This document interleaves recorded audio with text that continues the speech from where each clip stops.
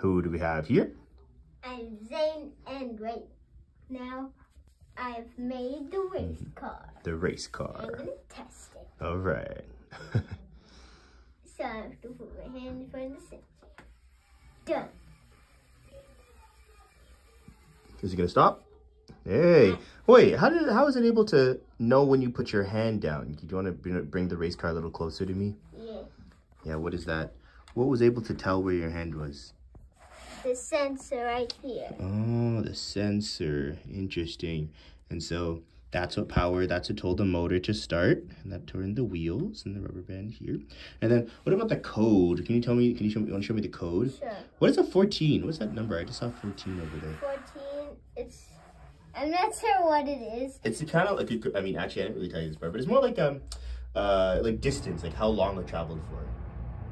Yeah. It's not really seconds per se, but it Yeah. counts What? up. What? When last time I came here, one of my friends, Matthias, here, Yeah, Matthias. he went to 2000. Yeah, he did. He did. He kept it running. So yeah, so it used the sensor to start, and it also used the sensor to stop, which is that part right there. Uh, Dan, great job. Fist bump as usual. Good job. And uh, you've earned a little break. Good job.